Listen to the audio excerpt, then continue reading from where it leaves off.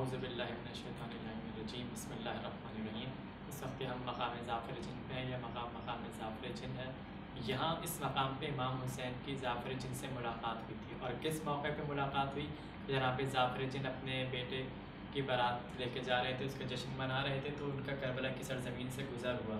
उनका जब गुज़र हुआ तो उन्होंने देखा कि सरजमीन पे एक मजलूम है, जिसमें इतना जुल्म सितम हुआ, जनाब ज़ाफ़र जिन जब वहाँ उतरे तो इमाम हुसैन से मुलाकात हुई, इस मकाम पर मुलाकात हुई।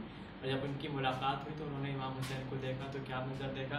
कि इमाम हुसैन ज़ख्मों से चूर तो थे, इमाम हुसैन के होठों को देखा तो लगा कि बड़े प्यासे तो जाफ़र जिन ने कहा कि, मौला, आप कहें तो मैं आपके लिए पानी लेके हाजिर हो जाऊँ। तो इमाम ने जाफ़र जिन का हाथ पकड़ा और एक नन्ही सी खबर पे आए, लेके कहा कि एजाफर ये देख रहे हो, ये मेरे शशमा अली असकर की खबर है। मेरा ये बच्चा प्यास से तड़प के मर गया तो एक बार हाथ पकड़ के हज़रत अली अकबर की लाशें पे लेके गए। जब लाशें अली अकबर पे लेकर गए तो फरमाया कि, जिसका अट्ठारह बरस का कड़िया जवान प्यासा मर जाए, वो हुसैन पानी पीकर क्या करेगा?